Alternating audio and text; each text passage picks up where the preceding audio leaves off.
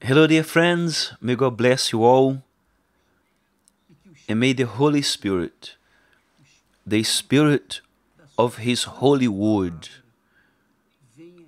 penetrate you inside of you in order for you to wake up to what the Lord says. Do you know why I'm laughing? Because I'm happy. I rejoice. I know there's a lot of people suffering, groaning. The people in Rio Grande do Sul, in Maranhão, the northeast side of Brazil in general, the north side, the west. There's a lot of people groaning all over the world. All over the world. However, we know that everything that is happening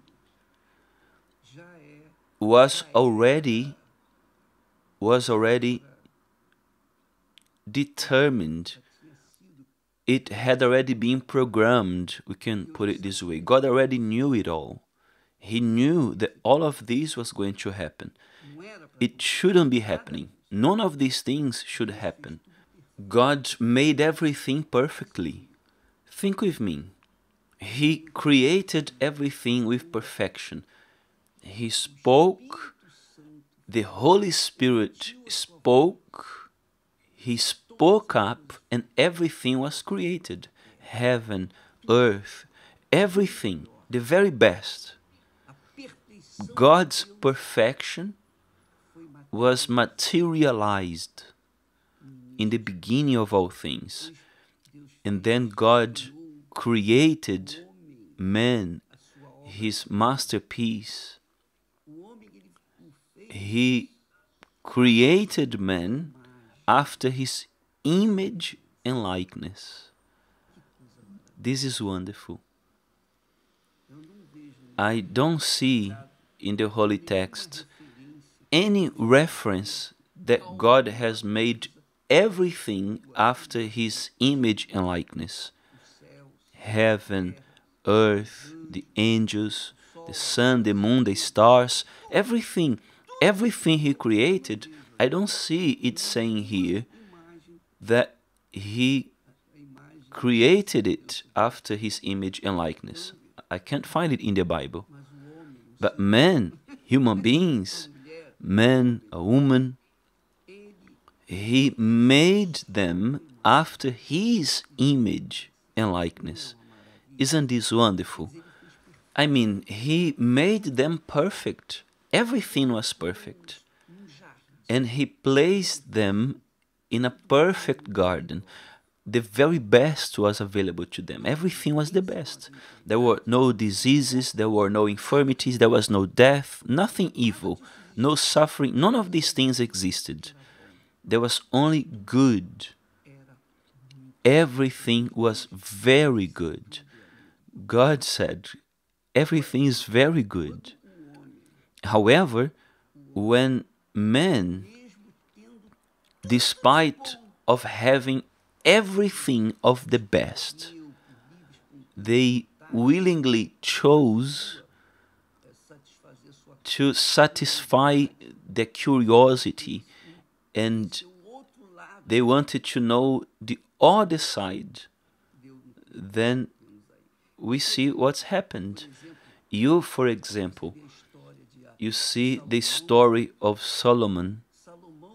Solomon represents, we can say, Adam. He had everything of the very best. He was a king he was a wise man, the wisest man in the world, the richest, the most blessed one, we can even say. But he also made a mistake. He also made a mistake. And he spoiled everything. Therefore, dear friends, we see that nothing of what's happening is God's fault because God created everything good. Man is the one who spoiled everything. That's why the psalmist says like this. Look at what he says. You will understand if you read carefully and with attention Psalm 148. You will see what the psalmist used by the Holy Spirit. Only the Holy Spirit to give such vision of God's greatness. And he says, Praise the Lord. Who should praise the Lord? Who should praise the Lord? Then he says, Praise the Lord from the heavens. Praise him in the heights. There may he be praised. Then he starts to describe who should praise him. He says, Praise him, all his angels. Praise him. So, first the angels. Then he says, Praise him, all his hosts, the heavenly bodies. Praise him, sun and moon. Praise him, all you stars of light. Praise him, you heavens of heavens, and you waters above the heavens. Meaning, everything must praise the Lord. Everything. Even things that have no mouth, no ears, but everything before the Most High, all of His creation praises Him. All of His creation, all of His creation, the sun, the moon, the stars, the seas, all of God's creation praises Him. And you can imagine if here on earth, despite of all the disasters that we are seeing, the natural disasters caused by human beings themselves, because the ground was cursed due to man. So pay attention.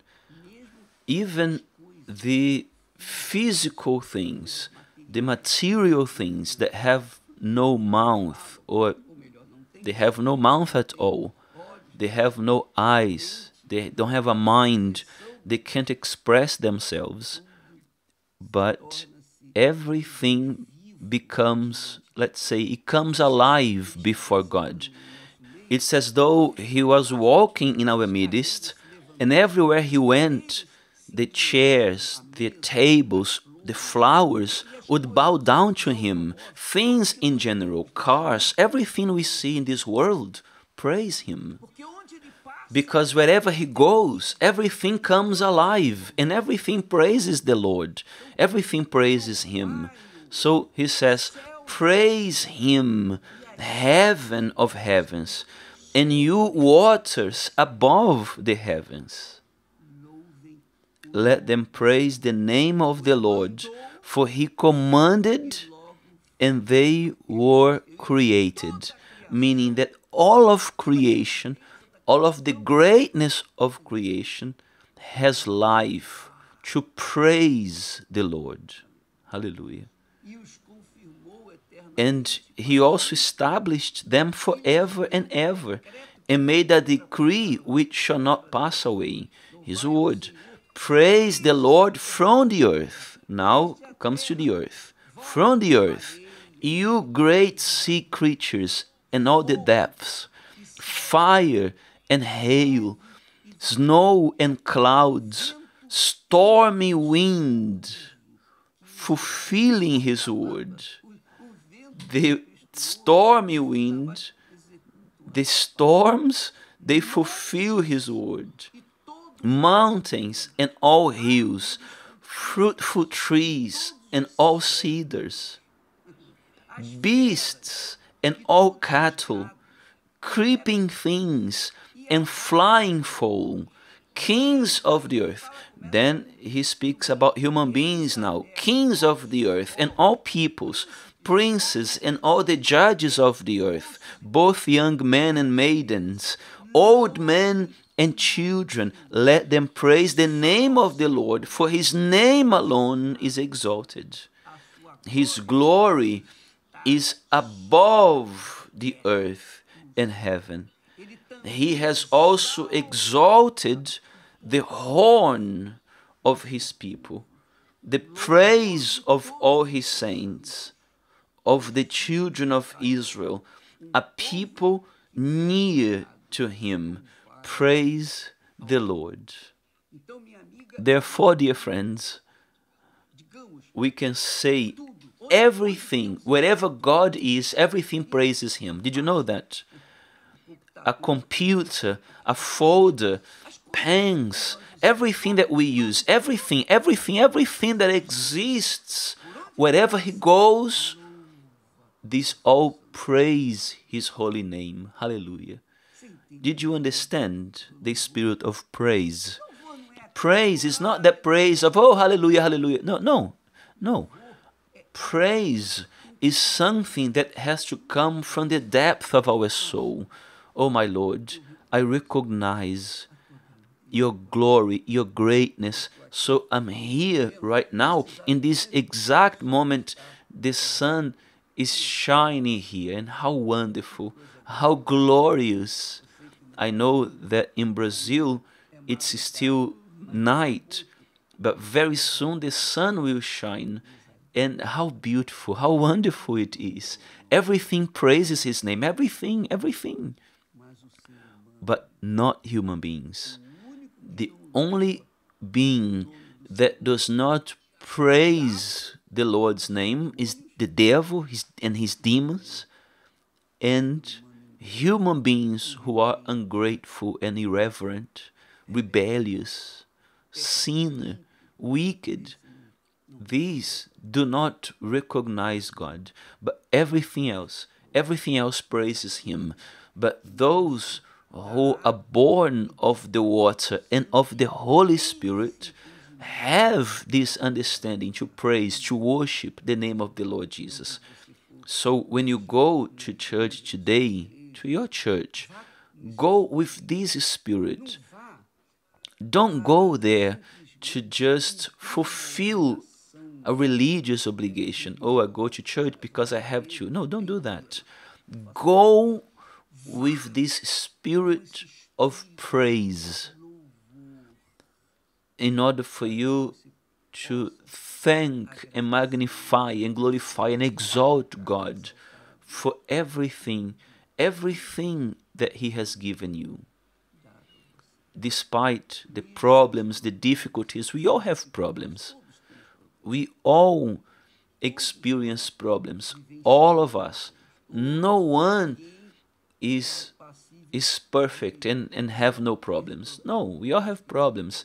If David, who was a, a, man after God's own heart, had problems, Abraham, who was God's friends, had problems, if Solomon, who was a wise rich man, had problems, all of them had problems. The Lord Jesus himself as well faced problems. We have problems. We all have problems.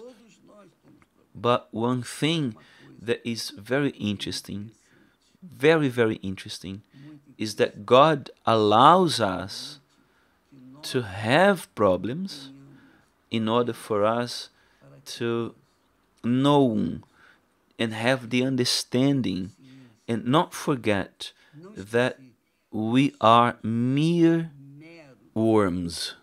We can put it this way we are flesh, subject to making mistakes and weaknesses and flaws and problems, and that we are imperfect beings due to the sin of Adam and Eve. Back then, we were born with the DNA of sin. And that's why David said, I was born in sin. My mother conceived me in sin. He was already born in sin.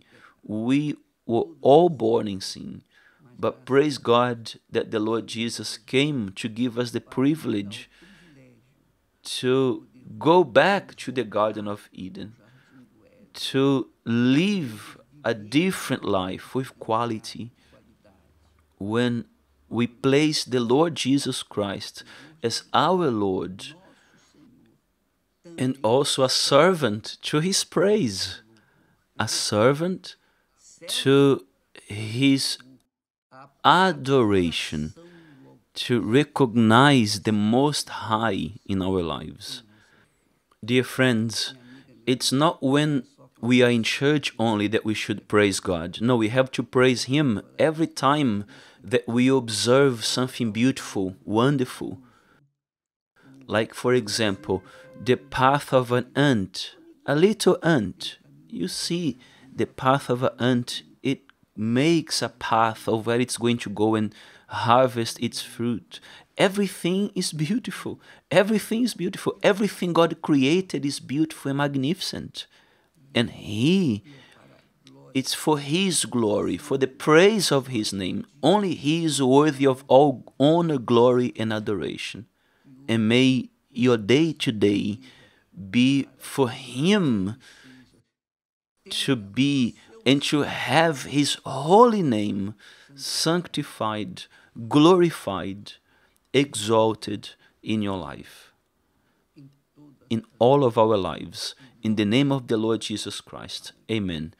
Tomorrow we shall be back here. May God bless you all. In the name of the Lord Jesus. Amen.